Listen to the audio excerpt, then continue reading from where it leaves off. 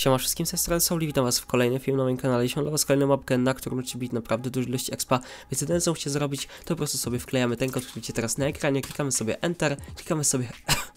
klikamy sobie odtwarzaj i teraz klikamy sobie grę prywatną. Musimy dać sobie tutaj graj, wchodzimy szybko do sklepu i wpisujemy kod Souli. Jeżeli to zrobicie, naprawdę bardzo wam dziękuję i teraz po prostu czekamy aż was załaduje.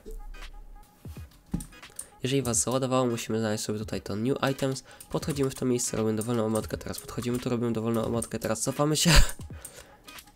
I w tym miejscu będzie przycisk, klikamy sobie tutaj na niego E, żeby was przeteleportowało i po prostu czekamy, aż ten timer dobiegnie końca. Jeżeli czas tutaj się skończy, to wpisujemy sobie tutaj po prostu kod. Kod to jest 359. I klikamy sobie tutaj confirm. I teraz musimy wziąć snajperkę po prostu i tu się pojawią po prostu oponenci, który będziemy musieli zestrzelić. Tu jest pierwszy, więc strzelamy do niego i musimy znaleźć jeszcze drugiego. Więc zeskakujemy tutaj i on będzie tam z tyłu, więc strzelamy do niego i za nich obydwu dostaniemy naprawdę dużo ilości expa. Więc życzę wam miłego expienia, no i widzimy się już w kolejnych mapkach. Siemanko!